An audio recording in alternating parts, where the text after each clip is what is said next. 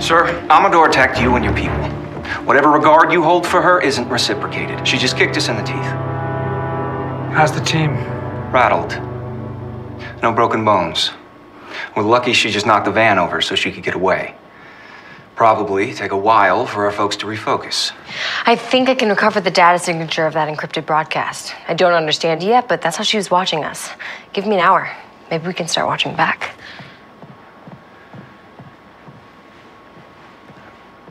Something's wrong. It's the same feed that was watching us in the van. Uh, put on the big monitor.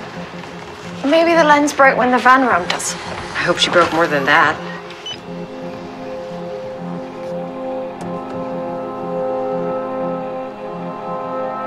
It's a mirror. Are we recording this? We are now. Whoa. How are we seeing this? Where's the camera?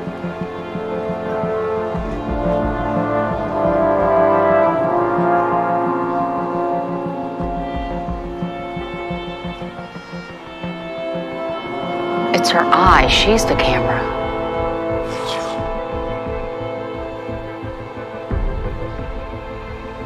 Switches to backscatter when she closes her eyes. You're a robot. Can you do that? Who has tech like this? We don't. Not like this. Not this small and internal. That's at least a decade ahead of anything I've seen.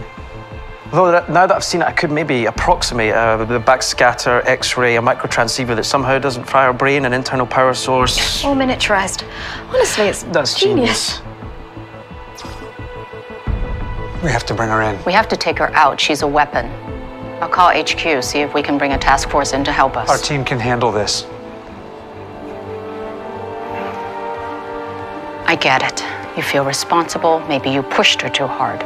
But she tried to kill three members of our team. If she wanted us dead, we'd be dead. We got lucky. You want to risk our lives again? You told me you were ready for combat, that you had my back. Don't ever doubt it. But you are defending this girl at the expense of the team. Because we protect our own. With all due respect, sir, she's not one of our own.